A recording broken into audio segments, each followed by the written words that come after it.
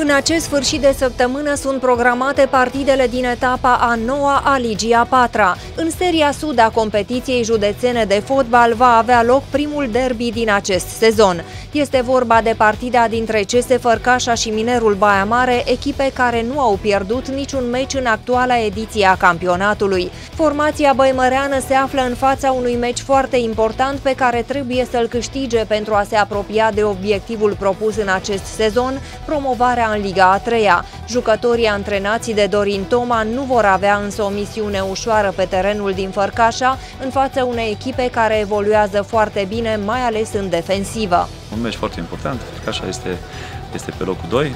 Noi orice joc îl luăm încercăm să-l jucăm 100%, mai avem sincope cum am avut astăzi 45 de minute, dar sper ca jucătorii mei să fie capacitați la, la miza jocului, pentru că un rezultat pozitiv ne aduce mai multă liniște nouă. În acest sezon, Minerul a câștigat toate cele șapte partide disputate și ocupă prima poziție a seriei Sud cu 21 de puncte.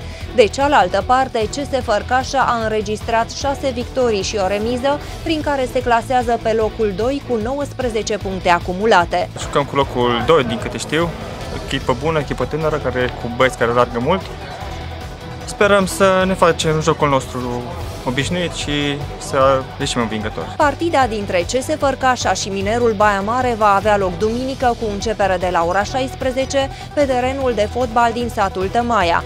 După această confruntare, cele două echipe se vor întâlni din nou în faza județeană a Cupei României într-o partidă care va avea loc în data de 11 noiembrie.